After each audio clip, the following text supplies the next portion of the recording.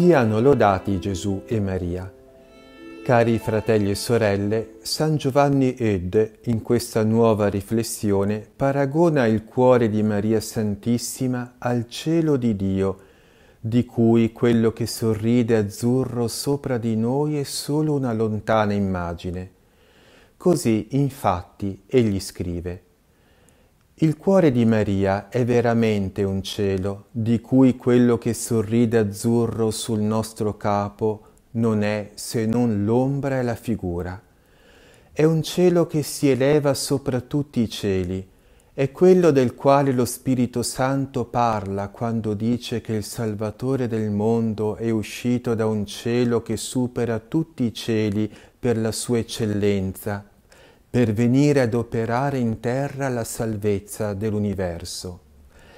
Difatti, questa Madre ammirabile ebbe il Salvatore in cuore prima di concepirlo nel suo seno. Dopo essere stato nascosto qualche tempo in questo stesso cuore, come lo è stato da tutta l'eternità in quello del Padre, Gesù ne è uscito per manifestarsi agli uomini ma come è uscito dal cielo e dal seno del Padre, pur senza uscirne, così il cuore di sua madre è un cielo dal quale egli uscì in modo però da dimorarvi sempre ed eternamente. Il cielo è per eccellenza l'opera delle mani di Dio, ma il cuore della Divina Madre è il capolavoro unico dell'onnipotenza, della saggezza e della bontà infinita di Dio. Dio ha fatto il cielo specialmente per stabilirvi la sua dimora. È vero che Egli ha riempito cielo e terra della sua divinità, ma più in cielo che sulla terra Egli ha stabilito la pienezza della sua grandezza, potenza e magnificenza divina.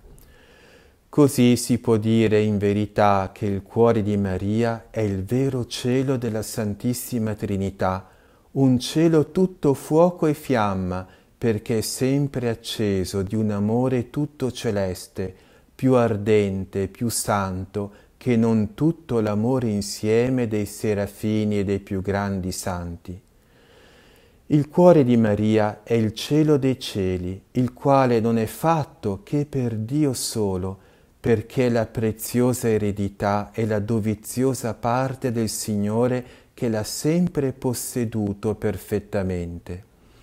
È il cielo dei cieli perché, secondo San Bernardo, esso contiene in sé tutta la Chiesa, che la scrittura definisce regno dei cieli, e perché tutti i figli della Chiesa ricevono per mezzo suo la vita della grazia. Chi oserà smentire San Bernardino da Siena quando assicura che la Vergine porta tutti i suoi figli nel suo cuore come ottima madre? E chi mi vorrà contraddire se affermo in conseguenza che ella porterà in eterno tutti gli abitanti del cielo nel suo stesso cuore, vero paradiso per tutti gli eletti, tutto ripieno di gioie e di delizie per essi, a causa dell'amore inconcepibile di cui questo cuore acceso riguardo a ciascuno di loro? Dopo questa bellissima riflessione, cari fratelli e sorelle, San Giovanni ed così si rivolge alla Madonna.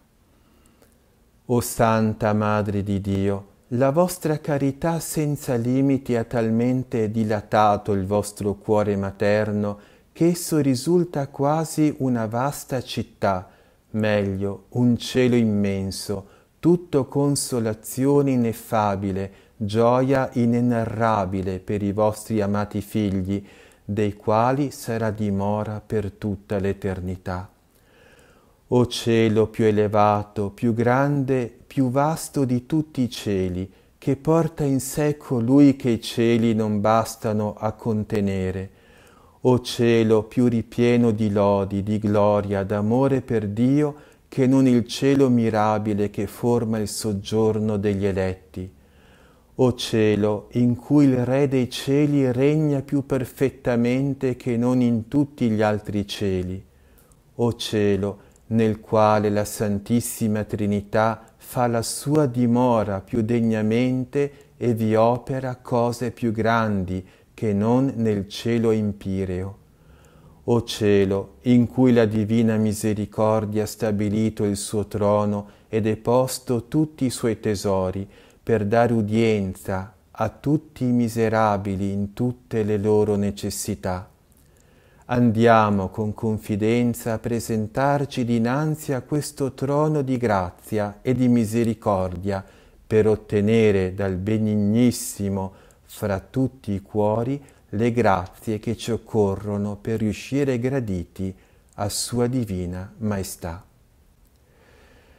Cari fratelli e sorelle, per trovare anche noi protezione in tutti i travagli e gli affanni della vita, rifugiamoci anche noi in questo cielo che è Maria Santissima, rifugiamoci nel suo cuore immacolato e chiediamo a lei la grazia di vivere per il cielo, di pensare maggiormente al cielo, di desiderarlo con tutto il nostro cuore.